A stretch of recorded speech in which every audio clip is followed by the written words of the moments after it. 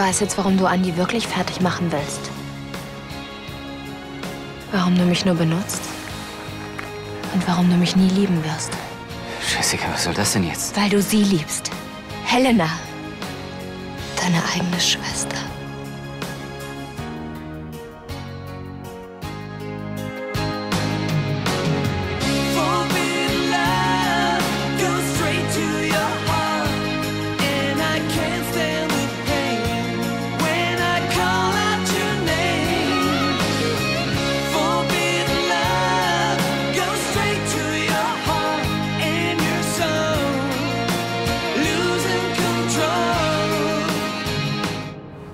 Jessica, ich verstehe nicht. War ich nicht deutlich genug? Natürlich liebe ich Helena, sie ist meine Schwester. Ja, aber doch nicht so, das ist doch völlig absurd. Von wegen, ich hab doch Augen im Kopf. Zwischen euch läuft was ganz Schräges. Sag mal, spinnst du? Schon allein, wie du sie immer anstarrst. Und ständig hängst du ihr auf der Pelle. Jetzt mach aber mal einen Punkt. Wir sind Zwillinge, wir waren immer zusammen, von klein an. Klar hat man da einen engen Draht zueinander. Aber sowas kannst du ja sowieso nicht verstehen. Engen Draht nennst du das? Ich nenne sowas abartig. Du hast doch überhaupt keine Ahnung. Deshalb warst du auch so besessen davon, sie und Andi auseinanderzubringen. Wie oft soll ich dir das noch sagen? Andi ist der Falsche für Helena. Klar. Und du bist der Richtige. Tristan, das ist sowas von krank. Jetzt warte. Lass dich nicht an. Ich hätte nicht gedacht, dass dein Hase dich so aus dem Konzept bringen kann. Mein Edelmut kennt eben keine Grenzen. Bitte? Ich wollte dich vor der Kälte des Wassers bewahren. So zart wie du beseitigt bist, wärst du morgen doch garantiert erkältet. Ah, na vielen Dank für deine unendliche Rücksichtsnahme. Siehst du das, was ich sehe? Äh, nein. Da ist auch nichts. Mein Auto. Das gibt's doch gar nicht. Verfolgen mich. Was? Wer verfolgt dich? Was weiß ich, keine Ahnung. Irgendwelche Banden. Was für Banden? Autoschieber. Meinst du, vorhin das war gar kein Tier? Glaubst du, da hat uns jemand beobachtet? Höchstwahrscheinlich. Und was ist das? Vielen Dank. Wir nehmen deinen Wagen gerne als großzügige Geste entgegen. Das gibt's doch nicht. Da verfolgt uns jemand bis in die Pampa, klaut dein Auto und hält das für einen Witz. Wie abgezockt ist das denn? Immerhin haben sie sich um Höflichkeit bemüht.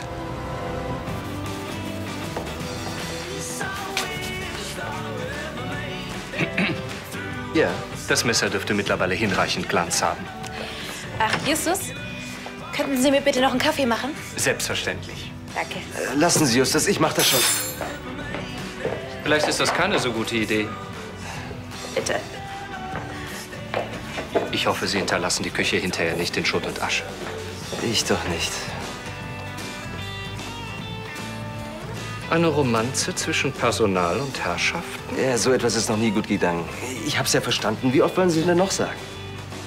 Justus, kann ich morgen frei bekommen? Also. Bitte, ich poliere auch danach das ganze Besteck im Schloss. Justus, Sie sind ein Schatz. David, deine gute Laune, die wird mir langsam ein bisschen unheimlich. Justus, den Barolo, den mein Mann so gerne trinkt, ist das. Ich war bereits auf dem Weg zu Ihnen. Rotwein? Auch eine gute Idee. Lydia, ich brauche deine Hilfe.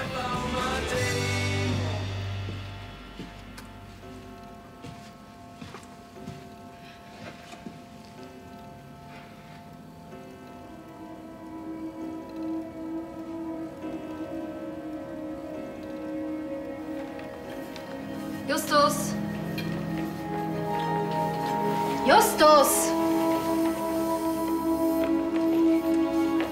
Schätzchen, sagen Sie Ihrem Onkel, er soll mich nach Rom bringen. Ich arbeite nicht mehr auf dem Schloss. Oh, Herrgott, was machen Sie da noch hier?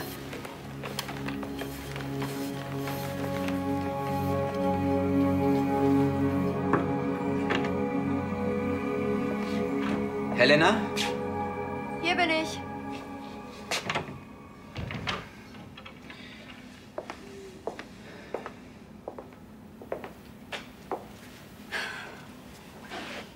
Ich bin total fertig. Ich will nur noch ins Bett. War Jessica zufällig gerade bei dir? Ihr habt immer noch Stress, stimmt's? Wie kommst du drauf? Hat sie was gesagt? Dafür brauche ich dich nur ansehen. Du siehst alles andere als glücklich aus. Ja, halb so schlimm. Wirklich?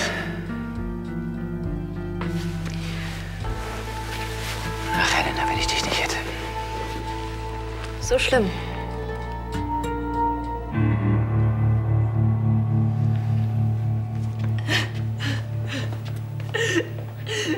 Jess, was ist passiert? Okay, Justus. Gräfe Lahnstein sucht dich. Sie wird sich einen Moment gedulden müssen. Erst sagst du mir, was mit dir los ist. Der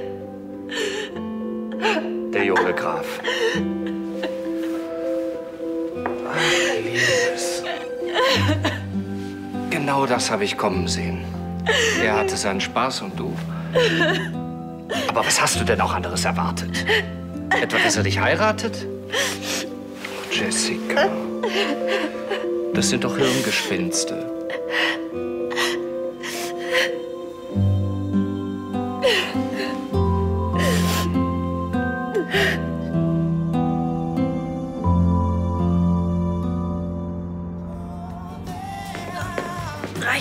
Ja, ja, super. Stell die einfach da ab. Wie findest du die? Ein bisschen staubig vielleicht. Äh, Glaubst du, das gefällt dir? Ja, jede Frau liebt die Küche. Und Rebecca arbeitet ja auch nebenan im Büro. Äh, stimmt. Da hat sie auf gar keinen Fall Bock drauf. Äh, hilfst du mir, die Sache auf dem Dachboden zu Ach, Bruderherz, das war ein Scherz. Echt? Ja, Ja, und wie findest du die hier? Oder, oder die hier? Schön. Ich wusste gar nicht, dass du so romantisch bist. Ich ehrlich gesagt auch nicht. Ich hoffe nur, ich überroll sie damit nicht zu sehr. Rebecca gefällt es auf jeden Fall. Und ich, ich würde dich auf der Stelle heiraten.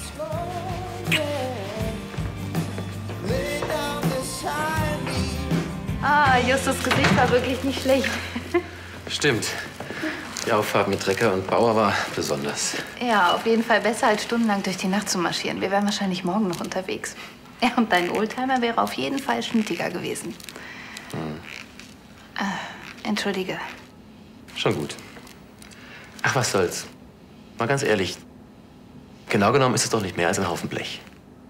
Ja, richtig. Und genau genommen musst du mir hier jetzt nicht vormachen, dass dir der Haufen Blech total egal ist. Also versuch's erst gar nicht. Am besten, wir gehen sofort zur Polizei. Ich glaube nicht, dass das was bringt. Was? Wieso nicht? Ich, ich komme auch gerne mit als Zeugin. Weil das bestimmt ein Auftragsdiebstahl war. Der Wagen ist schon auf dem Weg nach Dubai oder sonst wohin. Es tut mir wirklich leid, dass dein Traumauto weg ist. Und ich weiß, wie lange du danach gesucht hast, um ihn zu finden. Aber du darfst jetzt nicht den Kopf in den Sand stecken. Du hast recht, ich werde Anzeige erstatten. Aber nicht mehr heute. Und ja, vielleicht geschieht wirklich ein Wunder. Das hört sich schon viel besser an. Danke. Also dann, schlaf gut, Nicola. Du auch. Auch wenn das jetzt vielleicht blöd klingt, aber vielen Dank für den Ausflug. Gern geschehen.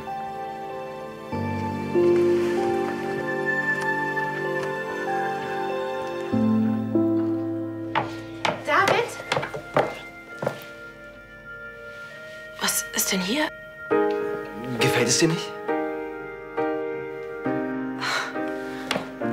Das ist ja der Wahnsinn.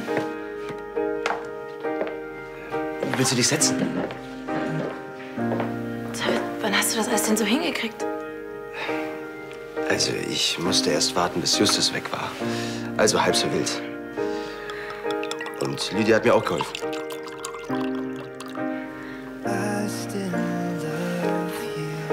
Was Schönes hat noch nie jemand für mich gemacht. Dann wurde es höchste Zeit.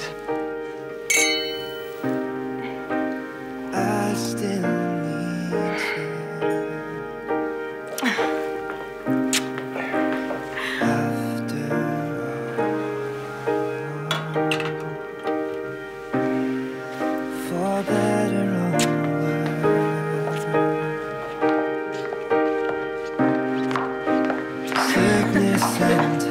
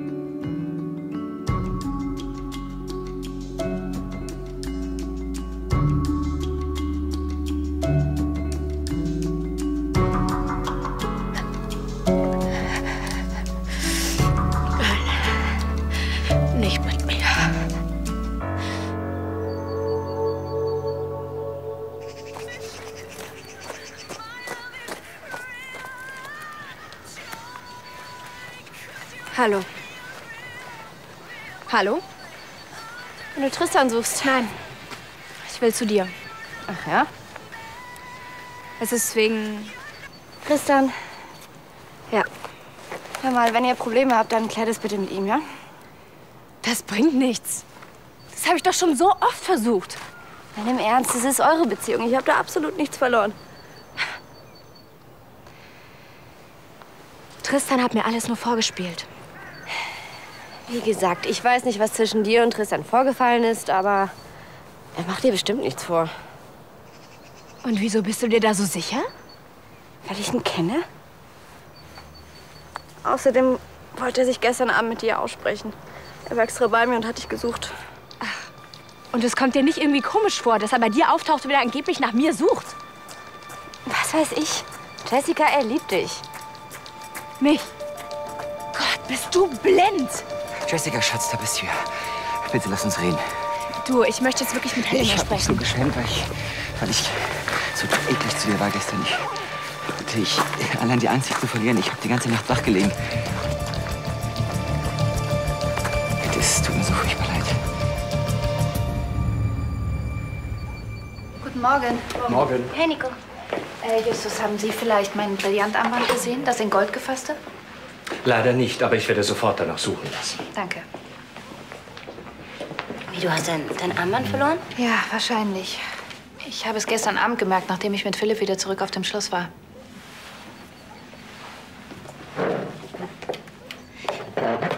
Philipp? Jetzt sag schon. Wir waren picknicken.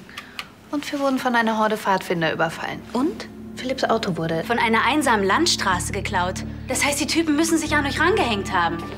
Wir schulden Ihnen schließlich ziemlich viel. Ja, das kannst du laut sagen, verdammt. Hey, jetzt beruhig dich. Für das Auto bekommen Sie auch schon eine Menge. Na und, glaubst du vielleicht, das reicht? Das reicht hinten und vorne nicht. Aber zumindest verschafft uns das vielleicht ein bisschen Luft. Träum weiter. Im Ernst, ohne Nikolas Vermögen kommen wir aus dem Dilemma nicht mehr raus. Wenn du nicht langsam Gas gibst.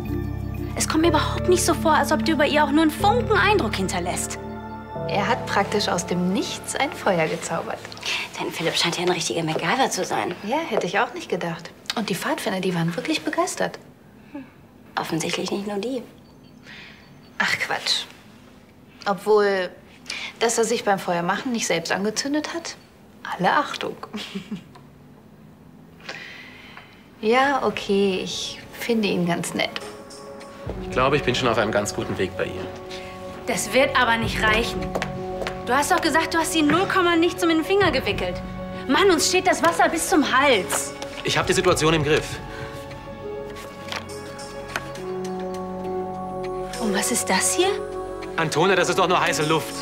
Hör auf, die Dinge so zu beschönigen. Räum endlich Nikolas Konten ab, bevor es zu spät ist. Oder willst du, dass man uns noch umbringt?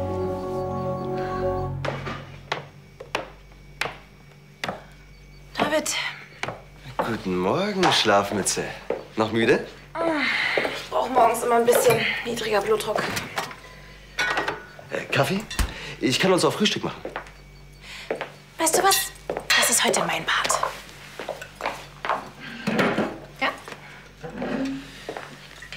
Wow, wie komme ich denn zu der Ehre? Na, du hast doch frei. Okay, dann merke ich es mir für die Zukunft. Meine Traumfrau muss morgens mit einer Dosis Koffein geweckt werden.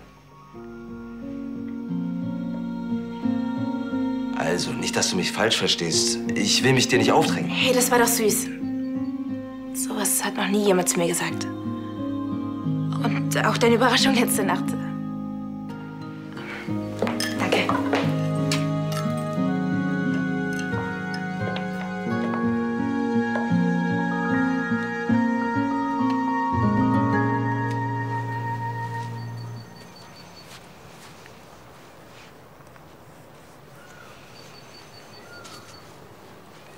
Du mal mit der Show aufhören? Ich zieh keine Show ab. Ich weiß einfach nicht mehr, was ich machen soll. Das kann ich mir vorstellen. Ich wollte es ja auch nicht wahrhaben, aber. Du hast recht.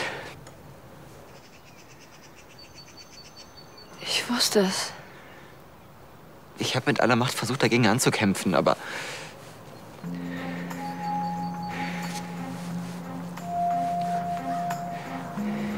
Ich empfinde mehr für Elena, als ich sollte.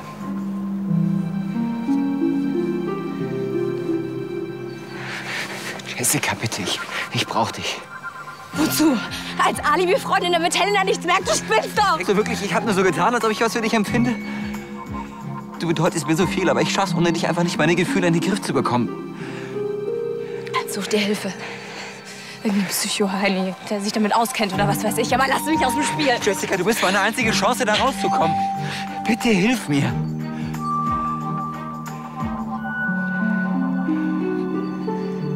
Ich weiß einfach nicht, was ich noch glauben soll.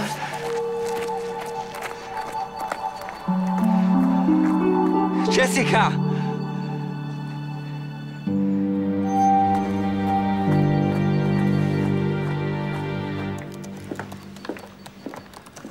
Schon wieder fleißig? Hast du mal auf die Uhr geguckt? Ich muss zugeben, ich bin heute früh nicht wirklich in die Gänge gekommen. Unser Ausflug gestern hat mich stärker strapaziert, als ich dachte. Na, das ist ja kein Wunder. Aber vielleicht bringt dich das hier auf andere Gedanken.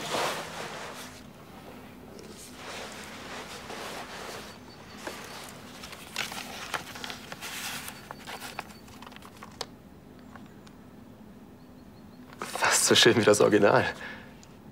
Wo hast du die denn aufgetrieben? Ach, tut mir leid, ich verrate meine Tricks nicht. Das ist eine Glückskarte. Wenn du die unter dein Kopfkissen legst, dann findest du auf jeden Fall noch mal so einen Wagen. Du bist aber nicht etwa abergläubisch. Nein, bestimmt nicht. Aber wer weiß. Warum sollte es nicht nochmal funktionieren? Danke. Ach, komm, Tess. Es tut mir furchtbar leid, aber Ihr Armband ist und bleibt unauffindbar. Soll ich die Polizei informieren? Nein, danke, Justus. Ich denke nicht, dass das Armband gestohlen wurde. Der Verschluss war kaputt und es war meine eigene Dummheit, dass ich es gestern getragen habe. Ich werde trotzdem die Augen offen halten. Danke. Das Armband ist mir gestern aufgefallen. Das ist ziemlich wertvoll, nicht wahr? Ich habe es von meiner Großmutter. Und sie hat mir wahnsinnig viel bedeutet. Oh je, dann ist es ja viel mehr als nur ein finanzieller Verlust. Fast so wie bei dir. Dann sollten wir erst recht nichts unversucht lassen. Könnten Sie auf den für David noch Kakao draufstreuen? Gerne. Super, danke. Du bringst David Kaffee ans Bett? Guten Morgen. Ich glaube, ich muss Olli mal stecken, dass mir das auch gefällt. Kaffee? Sehr gern. Wie läuft's denn bei euch? Sehr gut, Gott sei Dank. Wir haben gerade noch mal die Kurve gekriegt. Das freut mich. Da nimmt sich Olli bestimmt auch mehr Zeit für dich. Ja, jetzt ist erstmal New York angesagt. Ihr wollt nach New York? Nur Olli. Obwohl, nur ist nicht richtig. Robert fliegt auch mit. Hm. Das ist doch bestimmt blöd für dich, oder? Nein, echt nicht. Und ehrlich gesagt, Robert ist es nicht wert, dass wir nur eine Sekunde über ihn reden, okay? Jetzt ist erstmal wichtiger zu klären, ob Milchschaum gut für die Haut ist oder nicht. Was? So, warte.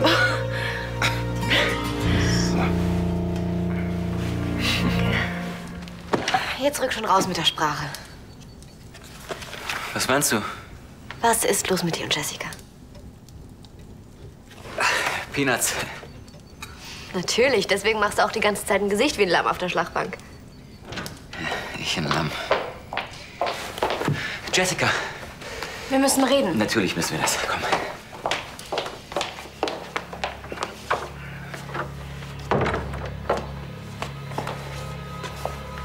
Ich habe noch mal über alles nachgedacht. Du liebst deine eigene Schwester.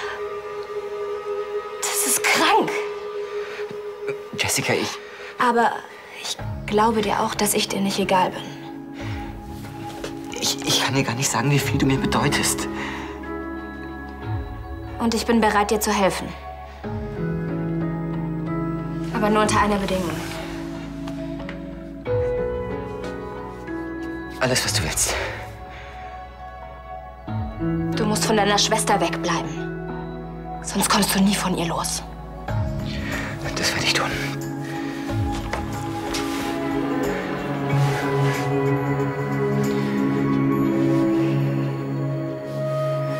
Tolle Idee. Da ist ja eine Nadel im Heuhaufen nichts gegen. Das Beste ist, du sagst deine Termine für heute ab. Von der Feuerstelle bis zur Straße sind es schätzungsweise 500 Meter. Ja, dann kann ich ja gleich die Termine für die ganze Woche absagen. Schon mal was von positiver Einstellung gehört? Ja, irgendwas klingelt da bei mir. Oh, Da ist es!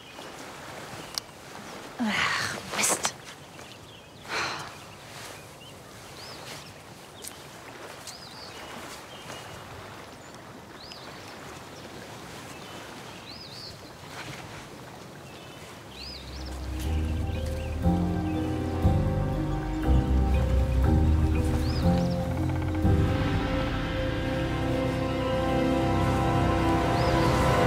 Elias schlägt aus, wenn er neue Eisen kriegt? Ja, ich muss mal eine Viertelstunde auf ihn einreden. Dann pass bloß auf dich auf. Gegen mich hat er ja nichts. Ist doch nur gegen den Schmied. Also, ich muss da mal wieder. Ciao, Mädels. Ja, mach's gut.